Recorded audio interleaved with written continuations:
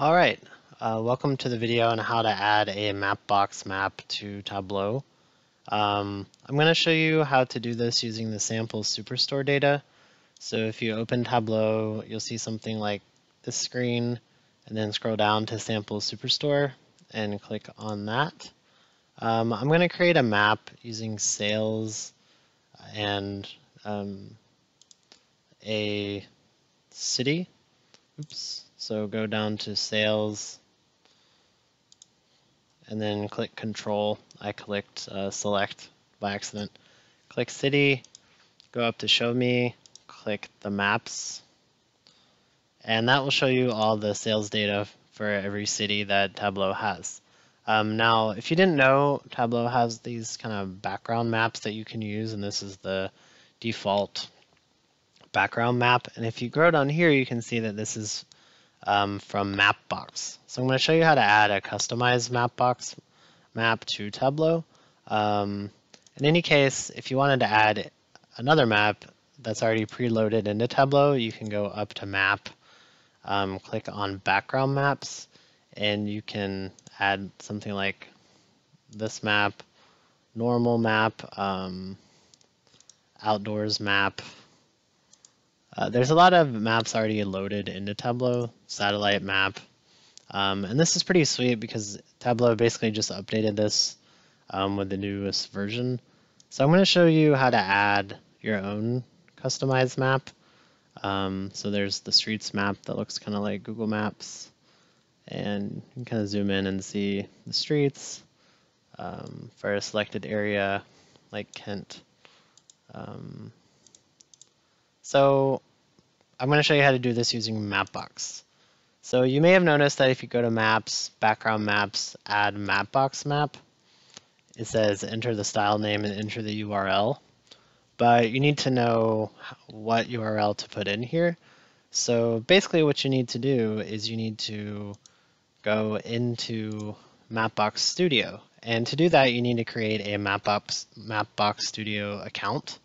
Um, so once you've signed up for Mapbox and go to studio.mapbox.com, you can start to customize your own map. So you'll see a screen like this if you haven't created any styles yet. Um, just to browse, go to New Style, and let's do something like um, the monochrome map, uh, just for, you know, you can kind of choose your variation if you want to um, bubblegum. I'm just going to select bubblegum. Go to customize monochrome. So basically you're selecting these new styles um, and then this is the Mapbox Studio and you can add a lot of custom stuff to it if you want to um, like buildings, um, natural features, just anything you really want. So I encourage you to play around with that. Um, but I'm just going to show you how to put this into Tableau. So if you want to scroll up here and go to share, um, you need to make this public. So once you click share, go to allow copying, click make public, make uh, public, and then this will create the URL that you need to put into Tableau. Then you can just copy that by clicking this little button and then go back into Tableau. And we already have this up. I'm just going to close it so if you go back to map, background maps, add mapbox map, and the style name is really anything. So I'm just going to call this bubblegum map. Um, you can put anything you want in here. It just it'll this is just the name for your map. And the URL, so just paste this into Tableau, you know. There you go, Control V on the keyboard, click OK and there is your bubblegum map.